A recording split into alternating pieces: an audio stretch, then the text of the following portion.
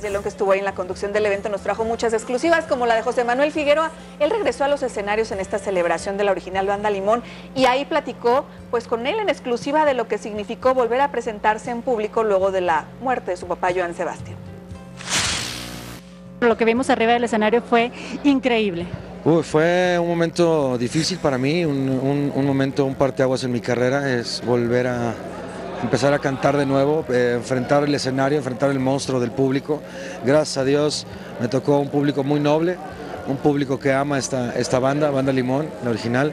Y la verdad, yo le quiero agradecer de verdad a todos los de producción, a toda la gente, a todos los muchachos, a todos los de la banda, de verdad, por creer en mí, por apoyarme, por, por, por realmente hacerme sentir acobijado en el escenario y, y, y, porque temía este momento, ¿no? La verdad, yo temía este momento de, de enfrentar el público, las canciones de mi padre. Eh, llegó un momento en el que sí me medio quebré un poquito, la verdad. Pues, claro, fue, fue, muy emotivo porque más de 100 mil personas cuando dijeron el nombre de Joan Sebastián no paraban de aplaudir. Impresionante, la verdad. Y, y, bueno, esas muestras de cariño pues siguen de alguna forma alimentándome el corazón y me dan fuerza para seguir adelante y para honrar a mi padre más. Y yo creo que es importante, ¿no? Darle el luto a mi padre que se merece y, y, y ahorita dedicarle a, a eso, ¿no? Gracias a Dios tengo un dinerito ahorrado, las vacas no están flacas, entonces yo creo pues cualquier cosa pues podemos gastarnos lo que tenemos ahorrado, ¿no?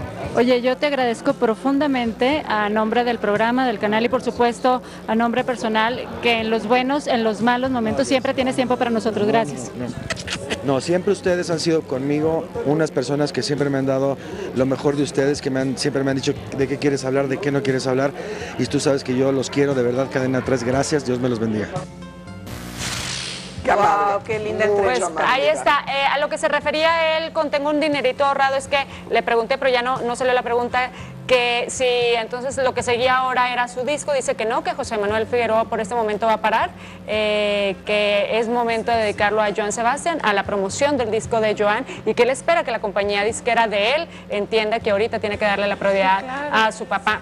Entonces por eso se refería que tiene un dinerito que pues él no va a estar trabajando ahorita. Te suscríbete a nuestro canal de YouTube y entérate antes que nadie de lo que hacen tus artistas favoritos. Empieza ahora mismo dándole clic a estos videos.